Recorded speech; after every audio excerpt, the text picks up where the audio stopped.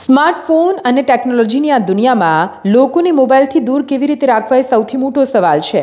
તેવામાં digital detox અને digital ઉપવાસ તો લોકો કરતા જ હોય છે. જેમાં મોબાઈલ અને સ્માર્ટફોન અને તમામ ઇલેક્ટ્રોનિક આઇટમથી થોડા સમય માટે દૂરી તો લોકો બનાવી લે છે, પણ પછી જે હતી એની પરિસ્થિતિ જોવા મળતી હોય છે. તેવામાં એક્સપર્ટનું કહેવું છે કે માત્ર ડિજિટલ ડેટોક્સથી નહીં ચાલે, કોઈ સચોટ ઉપાય આપણે શોધવો પડશે. એક્સપર્ટનું માનવું છે કે ડિજિટલ ડેટોક્સના માધ્યમથી આલત પર કાબૂ મેળવવો આસાન નથી. તેનાથી છુટકારો મેળવવો હોય તો આપણે જ કોઈ ઉપાય શોધવો પડશે.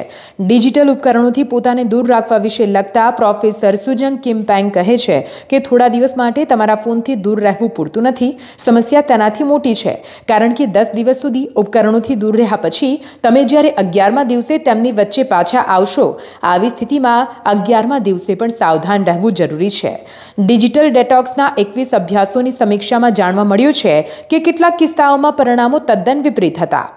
કેલિફોર્નિયા યુનિવર્સિટીના ન્યુરોલોજીના પ્રોફેસર એડમ ગેગેલના અભ્યાસમાં સામે આવ્યું કે ડિજિટલ ડિટોક્સ માટે દૈનિક અંતરની જરૂર છે. આ માટે તમારે નોટિફિકેશન બંધ રાખવું જોઈએ. જ્યારે તેની જરૂર ન હોય, ત્યારે ફોનને તમારાથી થોડા અંતરે રાખો.